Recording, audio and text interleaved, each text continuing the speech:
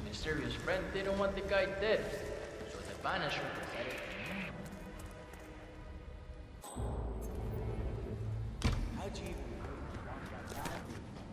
Maybe he had discussed maybe more well with Fernando died as a baby.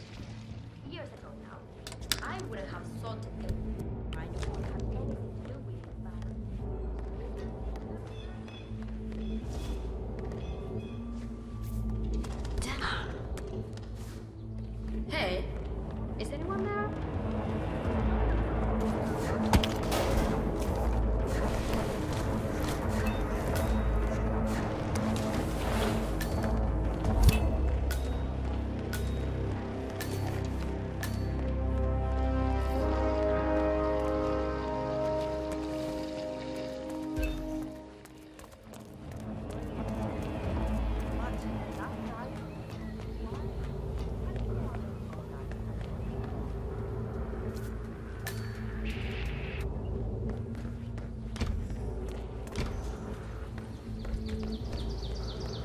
48.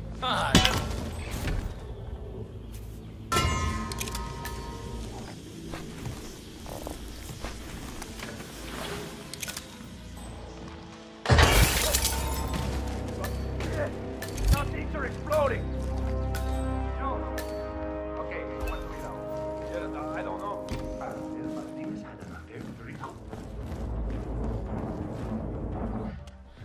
Okay, time to go to work.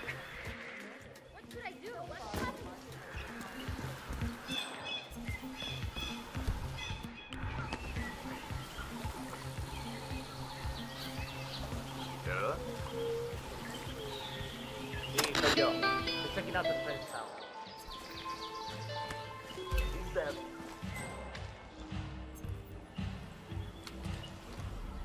Dios, why does this always happen to me?